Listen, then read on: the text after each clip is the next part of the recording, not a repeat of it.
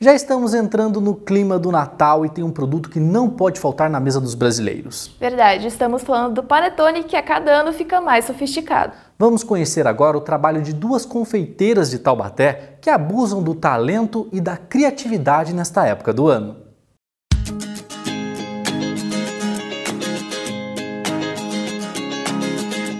É difícil resistir a essas tentações. São misturas de recheios e coberturas que encantam os olhos e deixam água na boca.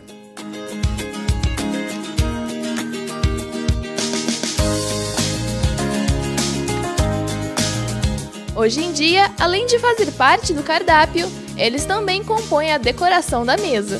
Os panetones com certeza não podem faltar na ceia de Natal, e a cada ano que passa eles se tornam mais sofisticados, inclusive viram arte nas mãos de quem tem talento e muita criatividade. É o caso das confeiteiras Célia e Michele. Há três anos, Célia se especializou em doces gourmet, mas foi no ano passado que resolveu começar a gourmetizar os panetones. Eu comecei pelos brigadeiros, as pessoas começaram a me pedir bolo, aí comecei a fazer os bolos, Páscoa, comecei a fazer os ovos e aí vem o, o Natal. Aí as pessoas começam a te perguntar: nossa, mas você não vai fazer panetone?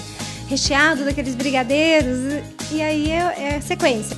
A parceria com a chefe de cozinha começou este ano.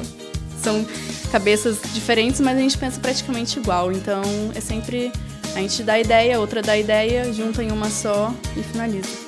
Aqui a produção é toda artesanal. A receita é exclusividade da casa. A produção começa na preparação da esponja, uma mistura de trigo, água e fermento fresco para dar fermentação aos panetones. Após 40 minutos, é hora de colocar as mãos na massa.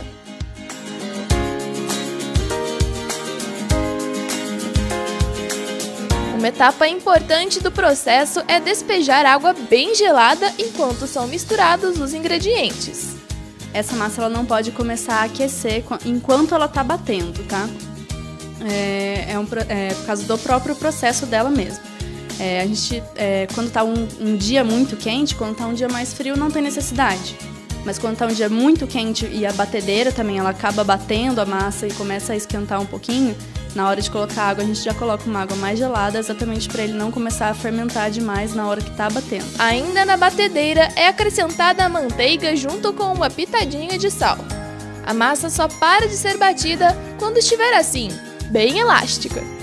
A partir daí, é só misturar o chocotone e as frutas cristalizadas.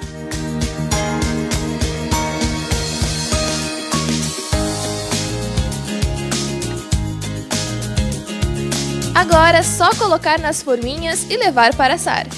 Todo esse processo dura no mínimo 8 horas.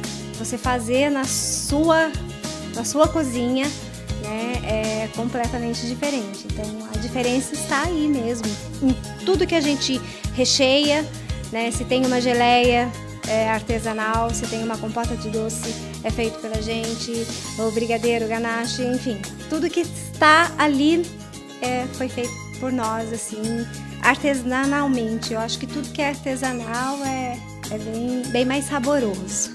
Com o panetone já assado, é hora de fazer arte.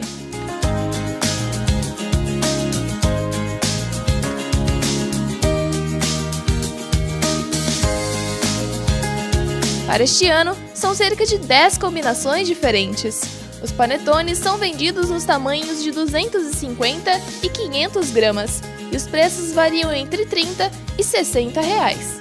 Eu acho que vai ter um rendimento muito legal nesse Natal agora, principalmente com a nossa parceria aqui, eu acho que vai ser sucesso.